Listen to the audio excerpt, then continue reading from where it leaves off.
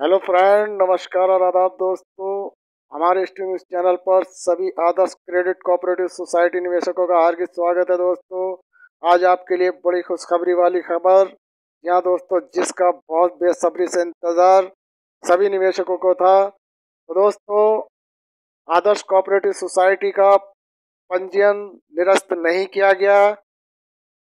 इसको दोबारा से चालू करने के कुछ कड़े नियम बनाए गए हैं। आइए दोस्तों, देखते हैं पूरी खबर क्या है। खबर सुनाने से पहले आपसे हमारा अनुरोध है कि हमारी वीडियो को आप शेयर करना ना भूलें, क्योंकि दोस्तों, ये बड़ी खबर सभी निवेशकों तक आप पहुंचाएँ। तो दोस्तों, पढ़ते हैं पूरी न्यूज़ क्या है।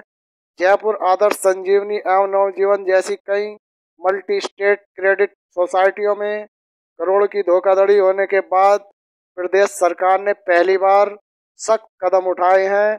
अब राज्य सरकार ने तय किया है कि राजस्थान में किसी भी नई क्रेडिट कोऑपरेटिव सोसाइटी का पंजीयन नहीं होगा। यही नहीं, मौजूदा क्रेडिट सोसाइटियों के लिए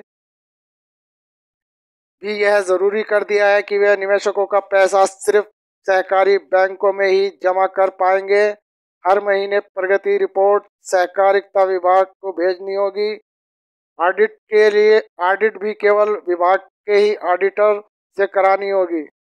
यहाँ दोस्तों, सहकारी रजिस्ट्रार डॉक्टर नीरज ने, पवन ने शुक्रवार को प्रदेश में संचालित सभी कोऑपरेटिव सोसाइटी के प्रतिनिधियों को बुलाकर यह बैठक बैठक में आदेश जारी किए। उन्होंने बताया कि प्रदेश में तीन सौ सैंतीस निष्क्रिय सोसाइटी के आवास व्यवसाय में लगा लाकर पंजीयन रद्द करने की कार्रवाई की जाएगी।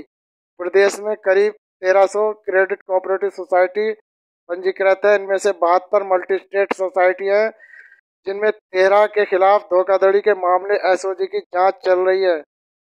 सरकारी बैंक में जमा कराएँगे राशि। जी हाँ दोस्तों, सभी क्रेडिट सोसाइटी अपनी डिपॉजिट केंद्रीय सहकारी बैंक में 21 अक्टूबर तक जमा कराएँगे। ऐसी डिपॉजिट पर कई बैंकों द्वारा ज़ीरो दशमलव पचास प्रतिशत अतिरिक्त ब्याज दिया जाएगा। जिन सोसाइटियों ने दूसरे बैंकों से डिपॉजिट करा रखी है, इसकी सूचना देनी होगी तथा अपोजिट पूर्ण होने पर उसे सहकारी बैंक में जमा कराना होगा। तो दोस्तों, ये बड़ी न्यूज़ आपको एसटी न्यूज़ चैनल से दी जा रही है। खबर अगर आपको पसंद आए तो हमारी इस वीडियो को शेयर ज़रूर करें दोस्तों। तो मिलते हैं फिर किसी नेक्स्ट वीडियो में कुछ अच्छी अपडेट